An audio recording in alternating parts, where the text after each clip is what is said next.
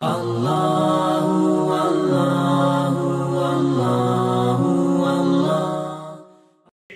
قرآن نے تو مولا کے فضائل کو بیان کیا؟ مولا نے قرآن کے فضائل کو کیسے بیان کیا؟ وسیعت کیا ہے میرے مولا کی؟ اب میں کیا جملہ آپ کی خدمت میں عرض کروں؟ لوگ میراث تو ڈھونڈتے ہیں باپ کی وسیعت نہیں پوچھتے۔ میراث تو ڈھونڈتے ہیں باپ کی وسیعت نہیں پوچھتے۔ اور میں نے آج ابتدا میں جو ایک مشترکہ دعا کرائی ہے اپنے لیے اور آپ کے لیے بھی۔ وہ دعا ہی یہ ہے کہ خدایا، ہمیں زندگی عطا فرما، احینا، ہمیں زندگی عطا فرما۔ اس طریقے پر جس طرح تو نے ہمارے مولا کو حیات عطا فرمائی تھی۔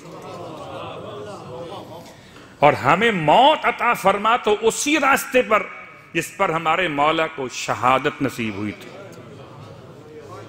تو یہ دعا جامع ترین دعا ہے کہ زندگی بھی علی کی طرح سے ہو اور شہادت بھی سلوات پڑھے محمد وآل محمد۔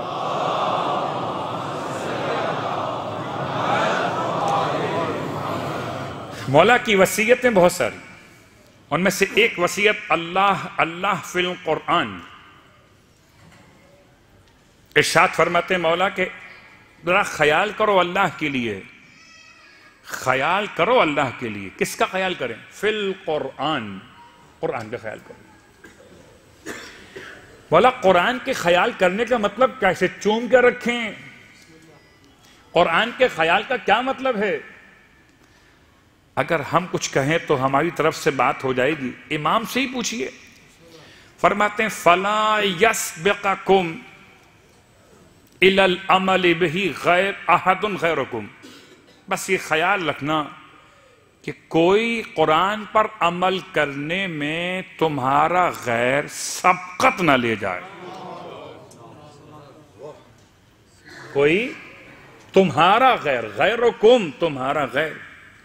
کیا عمدگی ہے؟ نام لیے بغیر امام میں سب کو بتا دیا کہ ایک تم ہو، ایک تمہارا غیر۔